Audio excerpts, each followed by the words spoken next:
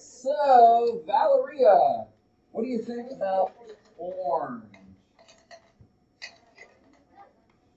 Hey guys, can we try to keep quiet with the blocks? We'll talk about those in a second. How many do you think orange? One? Just one? Just one little. Okay. Yeah. So, Jesus, what do you think about purple? We got five sections left, right? They gave one to orange. Two? Two or three, probably. Which which was more common, purple or green? Purple. So purple should probably get more than green. So we could either do three and two, or we could do four and one, right? If we want to add up to six. Yeah, but green has pop- probability than orange. Oh, so we can't make orange and green equal You have to keep three and two. because we said so. We're gonna throw this. This is bad. The the one we erased. We're saying we're gonna go with one, two, and three. Yeah. One orange, two green, three purple. There you go. You guys got it. So if we slice this into six slices, right, the left side gets three out of the six, or half of it. My green gets two slices, my orange gets one slice. Good job, guys. So, so apparently, what we're saying is we can use results to figure stuff out. Anyone want to read? You shoot it, go ahead. If you want to have the best chance of getting a red gumball from a gumball machine, is it, it is better if the machine is full of gumballs or half empty. How do you how do the chances of getting an ace in a deck of playing cards change if you have three or four decks of cards to choose from instead of only one deck? In, in this lesson, you will think about the size of the sample spaces, the collection of all possible outcomes of the event. Think about these questions as you work today. Ha- How has the whole or total changed? How has the portion or part we are interested in changed? How has the event became more or less likely? All right, so your team, thank you very much. Your team has already your set of blocks. And we're going to say that this is a probability game, but you, fortunately, get the chance to observe the situation before you start. So with your team, I need you to determine the likelihood. What's likelihood a synonym for? What thing have we been talking about? Starts with a P probability or possibility, right? People were saying so the probability of red, of green, of blue, and of orange. So how we're gonna write this on your paper? Let's everyone number 75 because we gotta start getting better at taking notes. So if I make a new notes page, it's gonna say 75. And then there are gonna be four parts. Probability of you switching to not let me write with a pen? Probability of red. So we're gonna write P of that event. So we got red, green, blue, orange.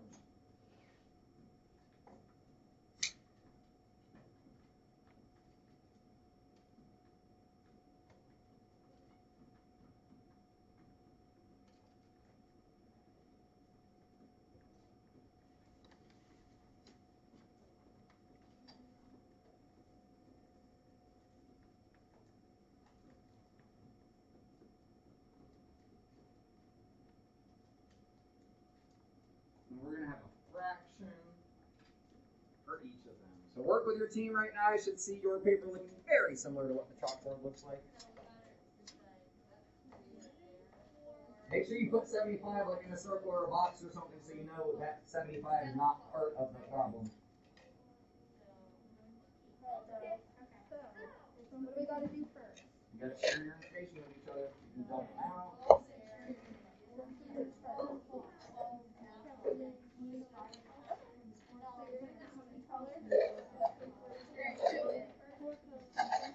Or anybody playing along with us at home. It's yellow for us, but it's orange for them. on the camera side. So was your first step? You And call. we're on- We have three. So you figured out how many more to Oh. One color? And those.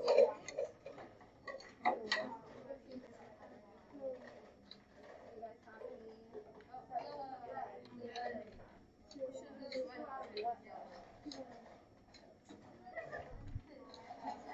guys happy?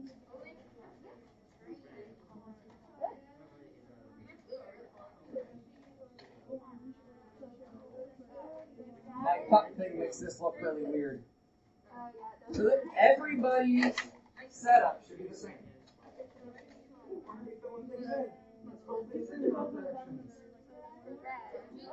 we talking about why? Make sure we don't just share answers, talk about why. Yeah, yeah. I guess in this scenario. So then how many green do you have? We're out of how many? Well, not nine. Our, what was our denominator here? Because there is actually yellow. That's yellow. Oh.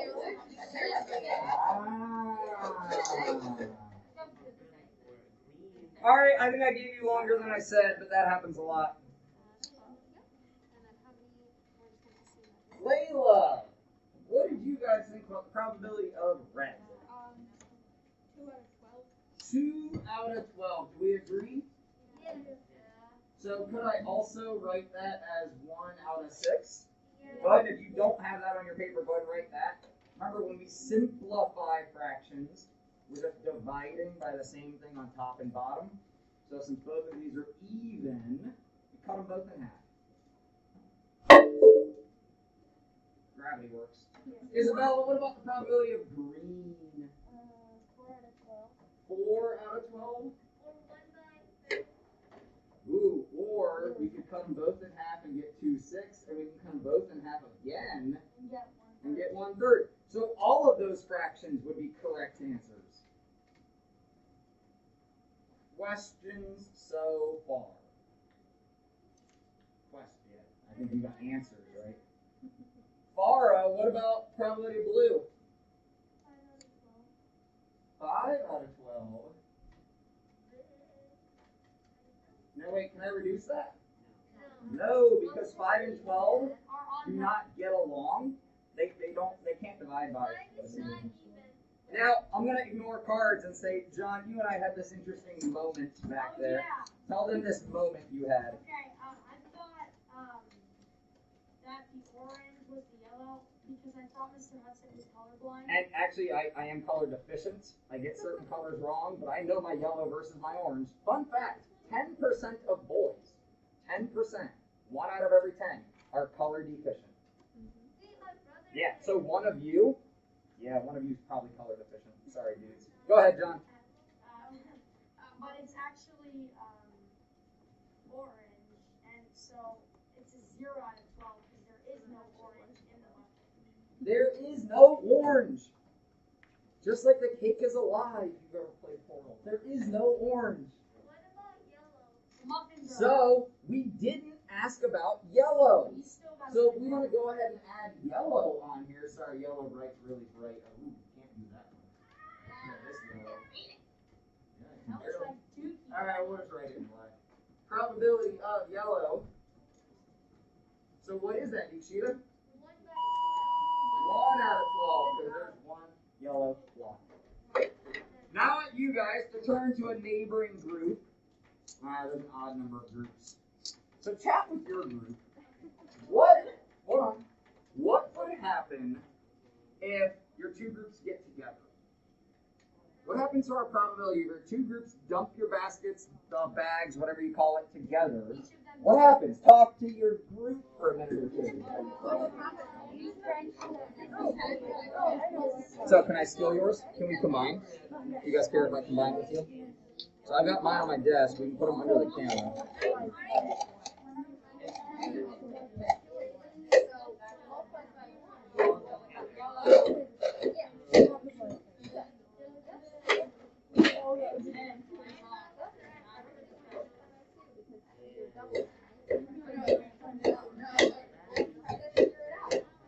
All right, now the only issue here is because that was running out of blocks. Green is green, okay? We're not going to discern between light green and dark green. Green is green. Okay, so this is kind of problematic. Guys, I often do this in games. Sort. If it helps your brain, sort things. You ever play a game where you like like Monopoly, you put your houses in one part, put your hotels in another part? So now, looking at this situation, trying to get them all on the screen, what is, let's say, our probability of, well, we just talked about yellow right at the end. What's our probability of yellow here? Shout it out, anyone? Twelve. Two out of twelve. Wait, two out of twelve? Ooh. So let's uh, try to hold on to our water bottles and things. We have two yellow, it's like blindingly bright up here. But now, the sample space, which we'll come back and we'll write that down in a minute, It's now twenty-four. is now 24. Did our probability change? Yeah, a little. Did our probability change? No, just, dou- just doubled like the numbers. It didn't double the probability. It just doubled. Give me your eyes up here real quick. And if you're still writing, that's fine.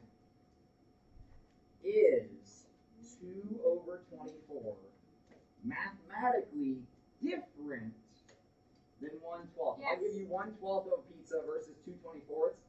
You get the same. Now, the numbers. This is where middle school, like, I love how your brains work. Hey, John, just hang on to those for a second. The numbers are different. I get it. The numbers are different. But this fraction is the same as this fraction, so nothing changed. This is because we doubled on bottom and doubled on top, right? When I stole their cubes, everything doubled. I didn't just double yellow. I didn't just double the like the whatever. I doubled everything. Questions on this being the same? So let's write down a vocab word. Sample space. I haven't really asked you to write down much today. Man, my pen keeps being weird. It's like every 10 seconds, it like doesn't write. Mine, I can't use mine yet because I need like a USB. Let me come check your classroom. Mine was hooked up wrong. Okay. So even if you have what you need. Sample space is all, it's just three words, guys. All possible outcomes.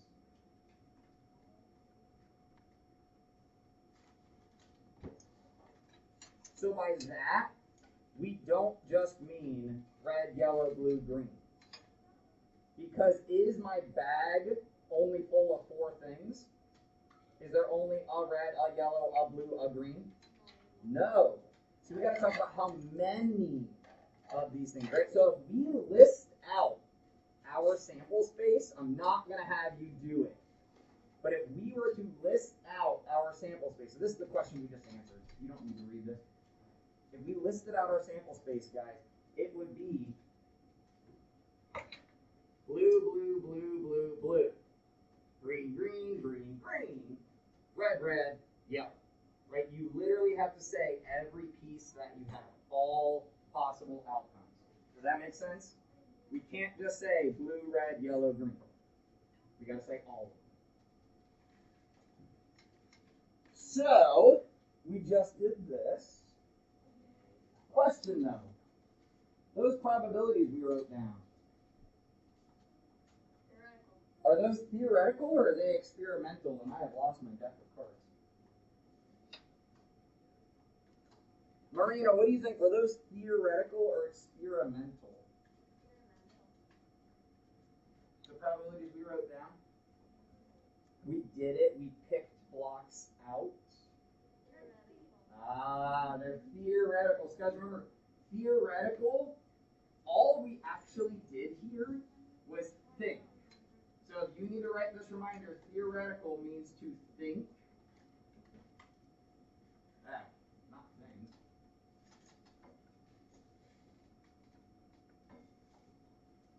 if we start actually picking blocks out, that'll become experimental.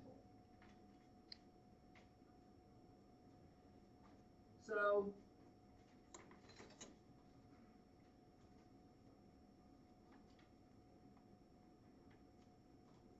the combined bag, right? Our combined bag. If you were to make 12 pulls out of the bag, use your theoretical probability. Talk with your partners about how many blue blocks do you think you would get? Right? If you did this, if you experimented 12 times, how many blue blocks do you think you'd get?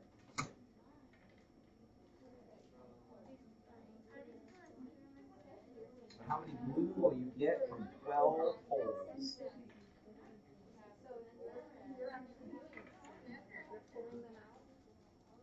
They it's okay to talk to each other. I know you probably don't know each other, it's okay to talk. You do what? You. Wait, what?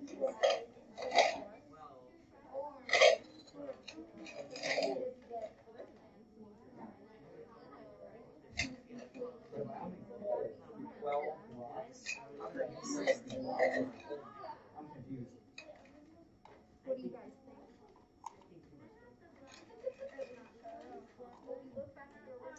Alright, so maybe I need to clarify. I think I might need to clarify. Um, I'm gonna start using a different term, I guess. If we random drop, because I'm, I'm gonna make you guys board gamers. If there's like one thing I want to do is make you guys board gamers. So at the start of most board games, we do a random drop to determine who goes first. So guys, what the board is asking, if you were to make 12 draws, this is what happens. Give me your eyes up here. Randomize the situation, and without looking, you pick one, look at the color, and then put it back. And then you do it again. So that's what 12 draws would be. So the most blues that we could get is how many? 12. If every one of these came up as blue, that would be the most that we could get. But if I do this 12 times, anyone want to share their thoughts? We'll take volunteers on this because I know this is a little deeper question. Want to share your thoughts?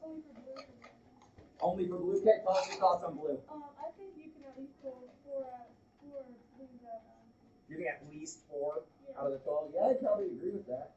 Do you want to explain your reasoning behind that?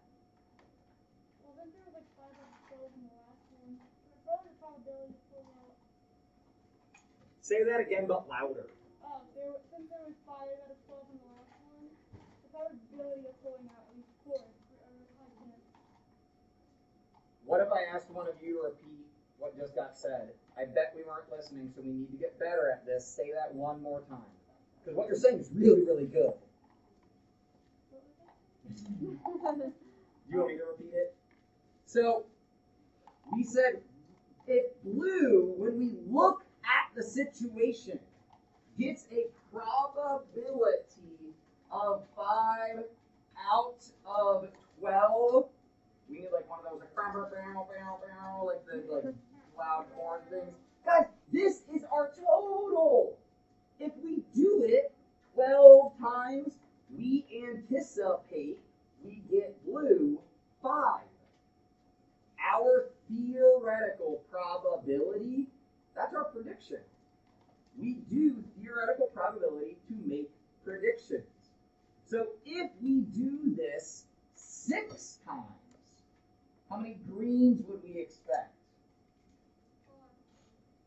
If we do it six times, we would expect two greens.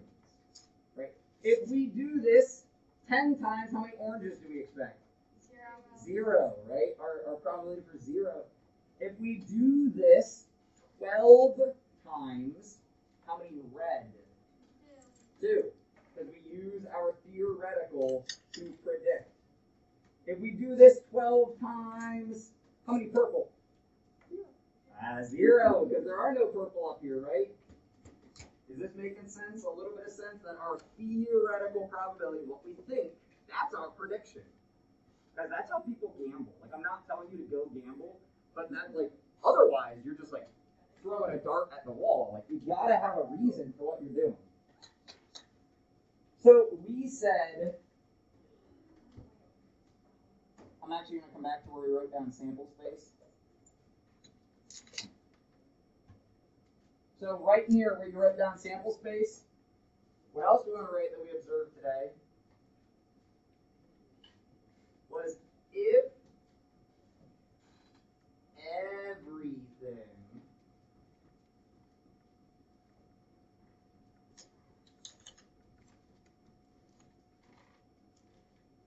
if everything doubles or triples or actually whatever. So I'm gonna put doubles like doubles doesn't really matter. It could triple, it could quadruple.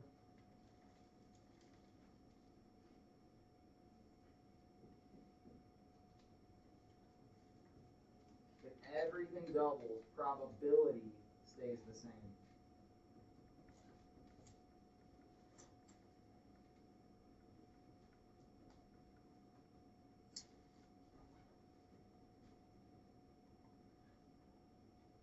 I started a sentence with a lowercase i. You guys are welcome to cops me whenever needed.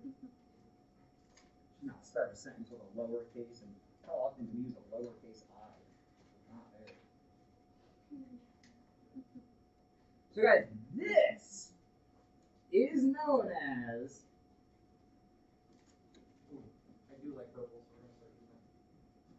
What's AKA stand for? Also known as. AKA means also known as.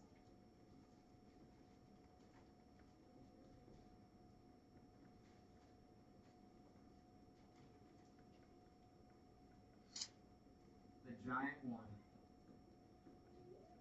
Oh yeah, we've done that. Some of you maybe have, some of you maybe didn't, depends on your elementary teachers. If you've been working ahead in your homework, you've maybe already seen this. Uh, man, I gotta double check how long we're in here. I think I'm keeping you guys late. No, fifty-eight. Oh yeah. So last year and every year I've taught here, one A ended at forty-eight, and it is messing me up.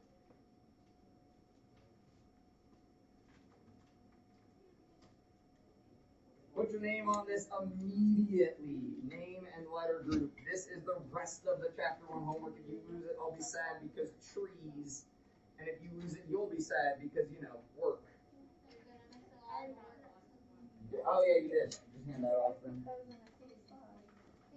You are welcome. Name and letter group. This is not a request. This is a demand.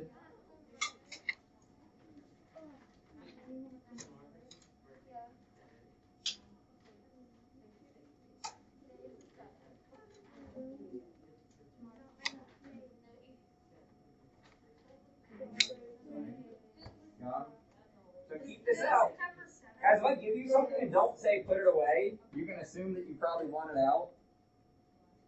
We're gonna do this together tomorrow, but I just want you guys to look at like why we give you notes and, and how notes are gonna look now.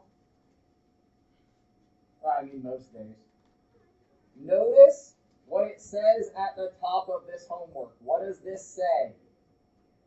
Examples from class. examples from class, see back for out of class practice. So if you decide to start working ahead on your homework, don't do this. We're doing it tomorrow in class. We're doing this tomorrow in class. Flip to the back if you want your homework.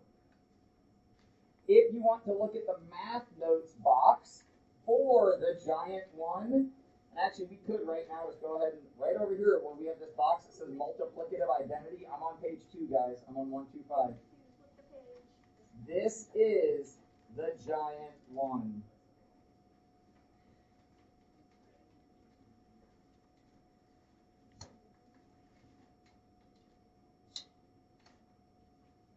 All right, so now you can put these away if you would like. I just wanted to make sure that we pointed out this is not homework because sometimes kids don't read what's in bold and all capital letters. Try as I might. With three asterisks. Look at that. Three stars. And still, some kids don't read it.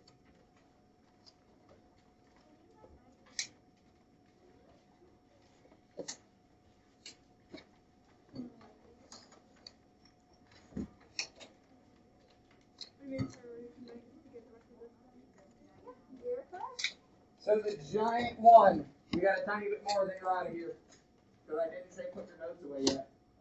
The giant one, I mean, if you don't write this down, it's your choice, but uh, I would if I was you.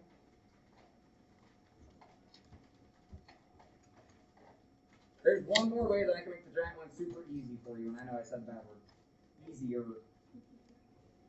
The giant one is the opposite of simplifying. It's unsimplifying. Simplifying, we make the numbers smaller. Giant one is just make these numbers bigger by doing the same thing. So if I double, this becomes 4, and my bottom would become 24, right? If we double. If I triple though, if I tripled my bag, let's say I grabbed three groups of bags, and if you guys could snap them apart for me, that would be sweet, and put them back in the containers before the end of class. If we triple, how many red would we have? Six out of 36. So what we're gonna start doing, I got one more thing to show you, then we're done. Is like the probability of blue was five twelfths. I'm not gonna make you do this, but it's done, it's ready in your homework for some of these problems. We give you the picture of a one, because if we multiply by one, nothing happens. Sorry, no, the top of my one's kind of weird. So, what we did today when two groups put their bags together was we multiplied by two on top and bottom, which really multiplied by a, a big old one. And this becomes 10 over 24. Cool? Now you can put your notes away and get out of here. John, I see you.